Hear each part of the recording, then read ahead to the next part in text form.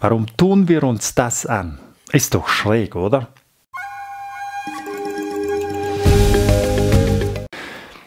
Und dazu ist mir vor kurzem eine interessante Geschichte passiert. Ich hatte Kontakt mit einem Bekannten, der war eigentlich immer so ganz nett. Und dieses Mal, ich weiß auch nicht warum, es war ganz anders. Er war schlecht gelaunt, er hat losgebrüllt wegen irgendwas, wegen gar nichts, wegen irgendeiner Kleinigkeit. Und ich habe damit kein Problem. Das ist für mich, das ist mir egal, ist mir wurscht. Und ich habe mir dann so später ein bisschen gedacht, so im Nachgang habe ich mir gedacht, was tun sich eigentlich die Menschen an? Ist doch verrückt, oder?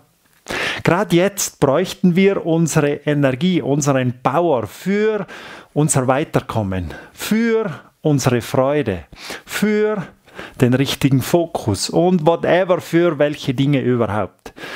Und so viele Menschen, und das ist wirklich ja verwunderlich, warum schwächen sich diese Leute selber? Denn eine einzige Stunde, eine einzige Stunde Ärger kostet so viel Energie wie zwölf Stunden arbeiten. Ist das verrückt oder verrückt? Eine Stunde ärgern kostet so viel Energie wie zwölf Stunden arbeiten.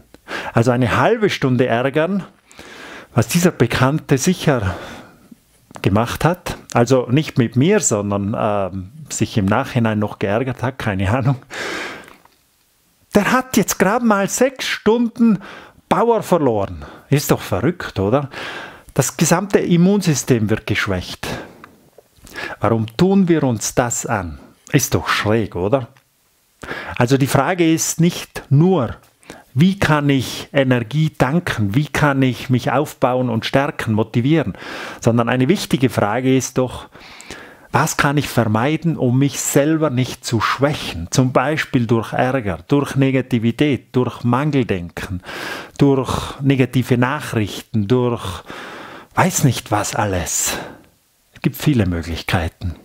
Also wenn wir diese Dinge gerade mal weglassen, dann haben wir schon mehr Power. Denn stell dir vor, jeder Mensch, jeder Mensch hat grundsätzlich 100% Energie zur Verfügung. 100%. Was kann ich weglassen, vermeiden, um meine 100% Energie, die ich eigentlich zur Verfügung habe, nicht beim Fenster rauszujagen? Und zwar mit beiden Händen, damit sie da bleibt. Und da zählt Ärger sicher an einer der ersten Stellen überhaupt. Kann ich einfach Ärger weglassen? Kann ich das? Ja, kann ich. Ist möglich. Es geht. Halte die Energie, die du hast und vergeude sie nicht. Die Message von diesem Video.